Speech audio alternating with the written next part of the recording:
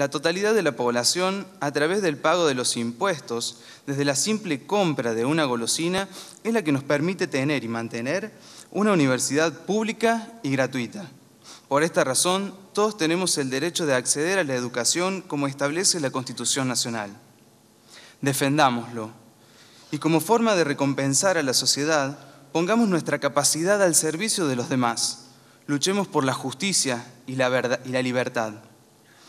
En este sentido, me quiero tomar el atrevimiento de resaltar y felicitar a las autoridades por la importantísima distinción que llevaron a cabo en el día de ayer, donde nuestra universidad otorgó el título de honoris causa a la señora Susana Trimarco, un ejemplo de lucha y perseverancia digno de admirar por toda la humanidad. Una mujer que nunca ha bajado los brazos en la búsqueda de su hija, víctima de la trata de personas. Y esta búsqueda infinita que Susana lleva a cabo, quiero que a nosotros nos sirva de ejemplo y nos aliente a iniciarnos en la búsqueda de nuestro futuro, en la lucha por cumplir nuestros propios sueños. Seguramente muchos de nosotros estamos hoy bastante preocupados por lo que nos deparará el futuro.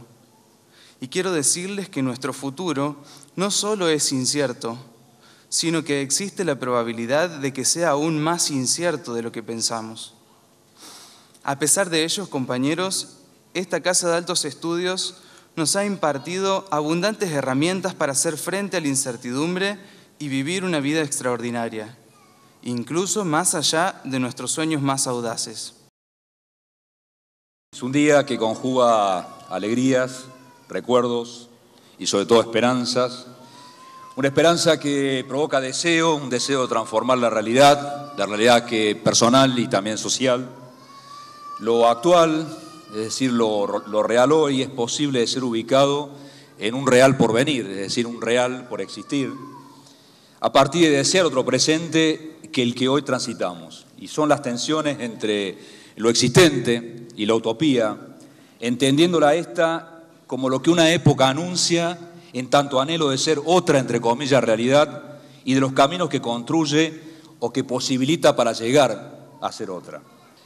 Nos encontramos aquí, un día muy importante, primer acto de decoración del año, su momento de entrega de diplomas. Diplomas que es un modo de certificación de una historia educativa, que es una historia individual, que es grupal, que es institucional, que es grupal porque habla de personas que nos han rodeado, que nos rodean, que nos han acompañado, que nos han abrazado para que este día sea posible. Gracias a ustedes, nuestros egresados, nuestras egresadas, por comprometerse en esta profunda alegría paciente que no se rinde. Muchas gracias, es un orgullo para nuestra universidad haberles hecho entrega del diploma.